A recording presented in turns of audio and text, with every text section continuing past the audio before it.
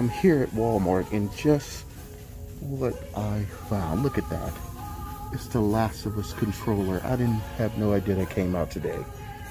I gotta get this one. I gotta get it. Let's do it.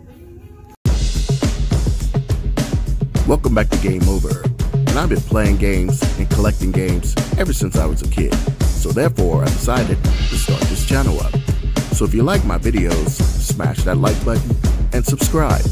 So without further ado, let's start the video.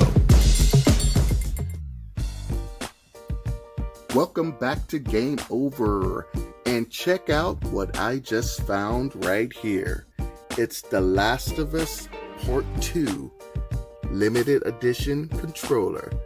That bad boy looks nice. So before we unbox it, let uh let's uh take a look at the front. This is the side, that's Ellie. This is the back. I like the way they put it on a tree stump. Cool. This is the other side, and that is also Ellie.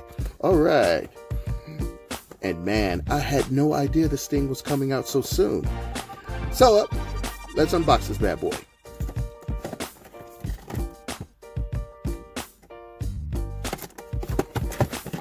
And as you know, I am a huge controller fan. I have lots of controllers.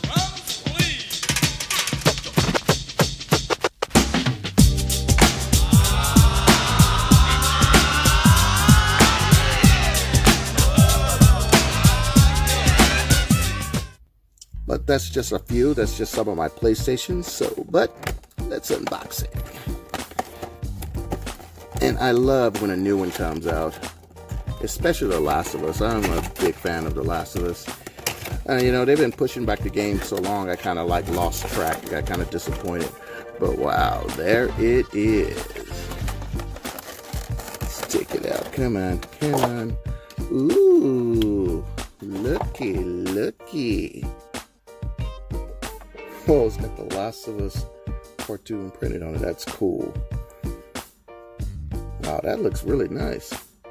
I like the color of the buttons here. That's cool. I wonder if it has a little bit of power. Oh, it got a little bit of power on it. Very, very cool. It would have been cooler if these things were probably white or something like that. But yeah, that looks really, really nice. Wow, check out the tattoo. Ellie's tattoo is on it. Sweet. Alright guys, and that is my quick unboxing of The Last of Us Part 2 DualShock 4 Wireless Controller Limited Edition. Alright guys, leave comments if you're interested in buying this controller or if you're going to get the game, because I'm definitely going to get the game.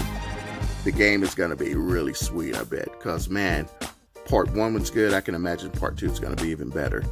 Well, that's what I'm hoping for. Alright guys, thanks for watching, and game over.